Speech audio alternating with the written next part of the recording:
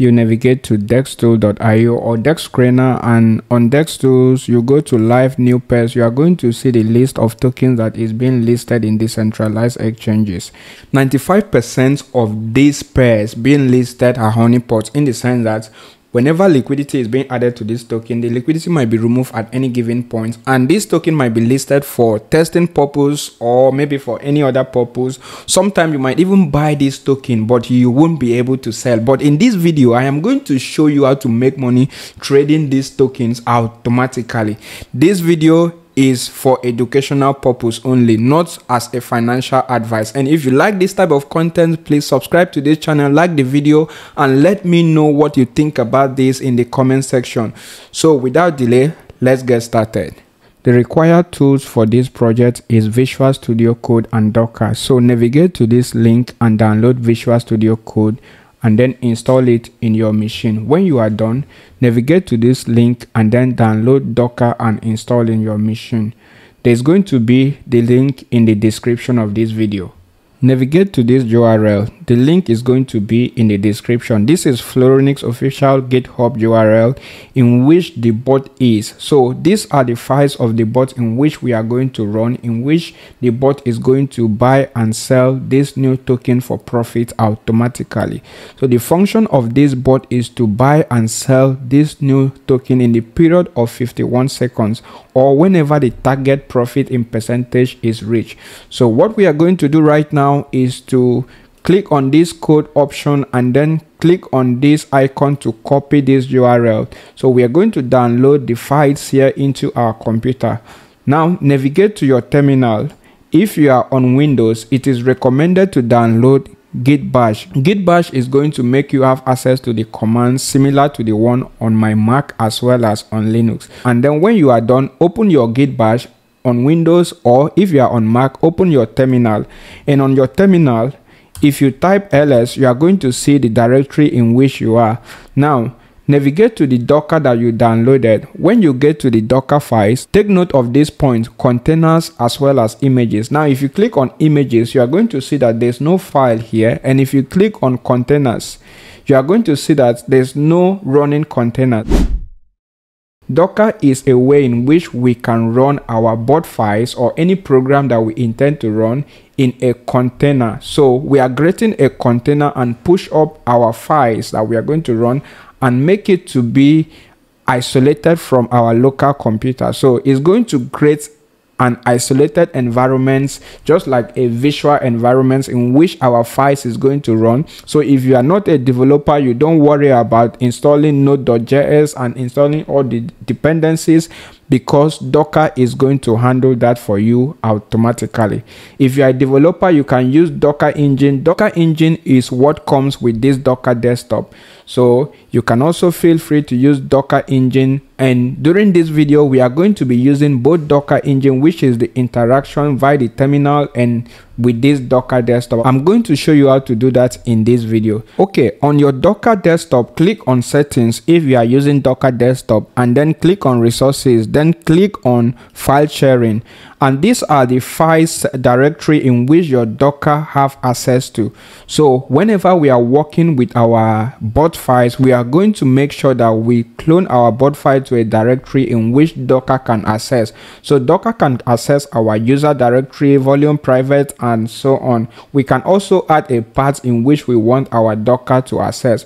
So in my case i'm going to run this bot in the user directory or a subdirectory in my user so on my terminal, I am already on the user directory. So the directory I am in is user and then my name. You can see my name and then if I type ls, you are going to see the files in this directory. So this is exactly where I want to clone the GitHub repo into this directory. So Remember, copy this URL from the GitHub URL and then navigate to your terminal. And when you get to your terminal, first of all, check if you have Git available by typing git dash dash version.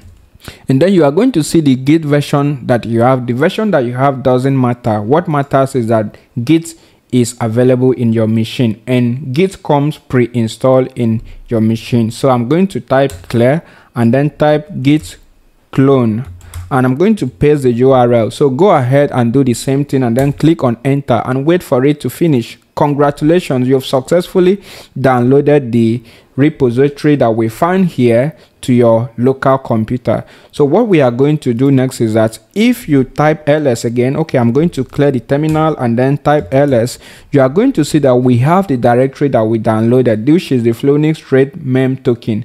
So what you are going to do next is to open Visual Studio Code. And the next thing you are going to do is to navigate to this directory on your computer. So we can drag and drop the directory in our Visual Studio Code to open the files in it.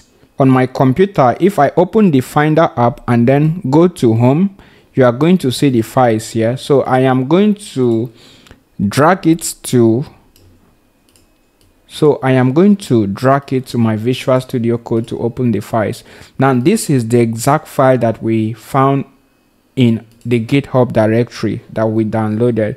On your visual studio code in that directory that you open click on source directory which is the src directory and then click on .env now this is going to be the settings of your board parameters. So we have the node in which we are going to be connected to the RPC URL as well as the WebSocket URL. But take note that this blockchain node might not be available in the future. So you have to input your own node URL. In this case, we are working on base blockchain. That's why you are seeing the URL is related to base node and then fluronix.app.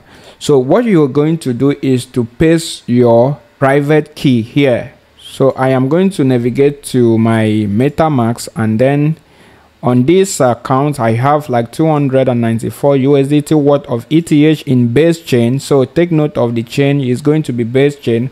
So i'm going to click here click on account details and then show private key and then put my password. And then I am going to copy the private key navigate to your Visual Studio Code and then paste the private key here. Take note to paste it without space.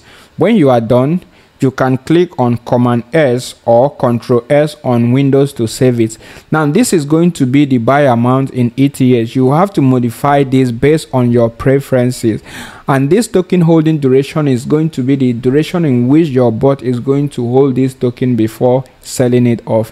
And the take profit percent is going to be the amount in which if the if eh, once the token pump in that percentage your bot is going to automatically sell off the token for profit so i'm going to pause this video right now and do the necessary setup and then when i am done i will resume the video I have successfully saved my private key in my .env file in my Visual Studio Code.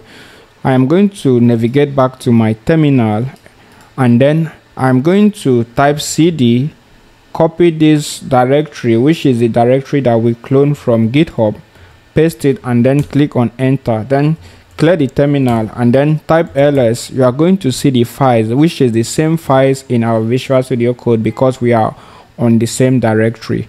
So now what you are going to do after getting your docker is that you have to create a docker image from this file. So for us to go ahead and create a Docker image, first of all, you need to confirm Docker engine is available after installing your Docker, which is going to be docker dash dash version. And then you should be able to see the version of your Docker as well as the build ID.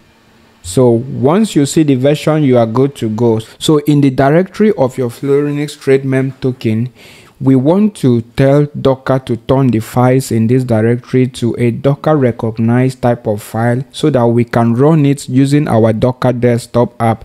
So to do that, you have to type Docker compose, that's Docker space compose, and then build, and then click on enter. And what Docker is doing right now is that Docker is converting our files to a docker image. Now if you go back to your docker desktop that you downloaded under the image you can then see two files which is the Fluronix trade mem token seller and the Fluronix trade mem token buyer so these are the two images. The function of the buyer is to buy while the function of the seller is to keep monitoring when to sell that token. And you can see the file size of the two images right now. Okay now navigate back to your terminal. On your terminal type docker compose up hyphen d and then click on enter now it is going to start two containers. If you click here and then click here you are going to see the two containers that are started. So this is the token seller in which we are going to allow it to run. And if we go back to container click here and this is the token buyer in which i'm going to post it for now for the sake of this video. You can click here to run your seller files and you can click here to run your buyer files but if in case you modify your .env file, you have to go back to your directory and then do docker compose up to run it again. Then you can use your docker desktop to manage your docker containers if you want to stop it. The reason why you have to do this is because when you do docker compose up it loads the. env file again from your directory. If you go back to images you are going to see that the status of these two images is in use right now because this image is being used by this container. So to start our bot we are going to click on the containers and then click on Fluronix trade mem token and we are going to see our two containers which is the sell and the buy. So sell is currently running now. Remember i stopped the buy so i can click on start and then buy is going to start running right away. So we are going to wait for it to execute trade. And we can see that my bot has successfully purchased this token. So i'm going to post it now and then copy the token contract or the pool address and then navigate to dex tool and then paste it here. Click on it. And we can see the purchase of the token right now. Before liquidity was removed we can see uh, this is my wallet address. And for the sake of this video i only purchased 0.4 dollars and that's 0.45 dollars and uh, it sold 0.468 dollars here and make a profit. So we can see it on our bots. And from this list we can see the sell the buy price as well as the sell price. And we can see the token and we make 2.4 percent in the period of 20 seconds. Because i set my duration to 20 seconds for the sake of this video. So that's exactly how it works. You see liquidity is being removed but we were able to enter so quick and then sold off the token immediately. So and when you are ready to stop your bot you can go to the container and under containers and then click on this uh, name of the image and then you can pause the container here. You can delete the container here as well as the image. You can also delete the image if any container is not using the image. At this point we can see containers are using the image. So you have to delete the container so that the image will be free. Then if you wish to restart your bot, you can use the terminal by doing docker compose up hyphen d or you can also use this docker desktop to restart your bots. Please take note that trading mem token is risky and this video is for educational purpose. Link to the Discord channel is going to be in the description so feel free to join the Discord channel, ask any question if you are able to run the bot and if you have any question you can ask in the Discord channel. Do not forget to subscribe, comment down below and let me know if you are able to set up this bot and how much you've made from using these bots.